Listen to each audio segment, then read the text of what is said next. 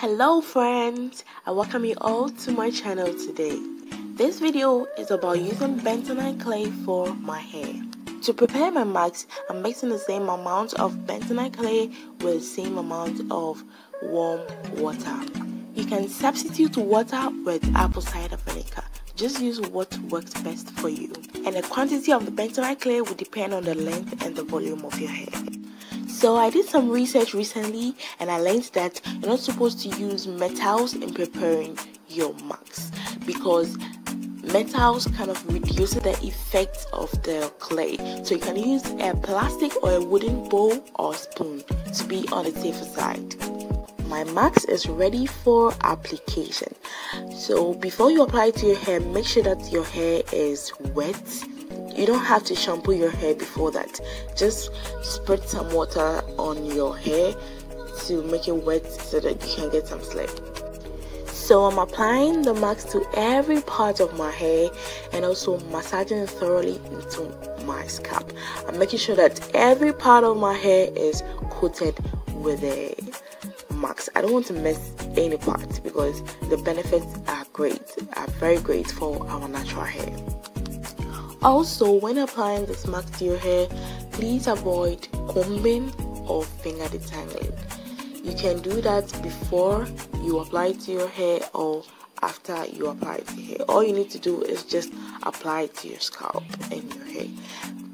You need to avoid it because when you apply it to your hair, you'll feel that your hair is kind of dry. Yeah, and you know that combing is not supposed to be done on dry hair so if you want to comment you can do it after you are you've rinsed it off your hair. What baffles me is that after rinsing it out you will feel that your hair is very soft and moisturized. Anyways if you feel that the mask is getting dried as you apply it to your hair you can spread some more water on your hair. It doesn't matter. Okay so let's get to know some benefits of bentonite clay bentonite clay is rich in sodium potassium, calcium, etc. that helps to enhance hair growth.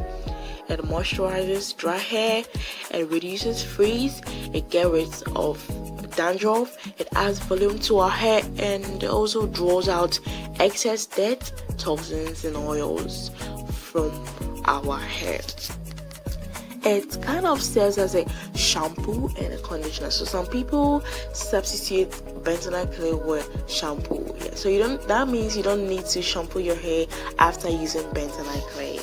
But it all depends on you what works best for you. I'm done applying to my hair. I'm just making sure that every part of my hair has been coated with a bentonite clay just some small inspection